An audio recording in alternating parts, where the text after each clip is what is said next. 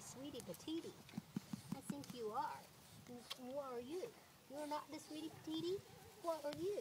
Hmm? What are you? Oh, you says you are the sweetie patootie. But you're the lap dog, huh? You want in my lap? Yes, you're so good.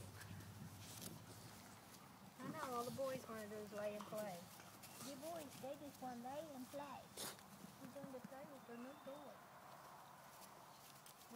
Think we never take them to town? No, no. Think we never take them to town?